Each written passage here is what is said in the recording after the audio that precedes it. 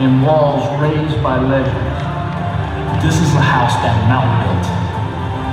The house of Joe Drumberry and the Big Dog. Of the Three Amigos and the Baby Boilers. This is home to 23 Big Ten championships.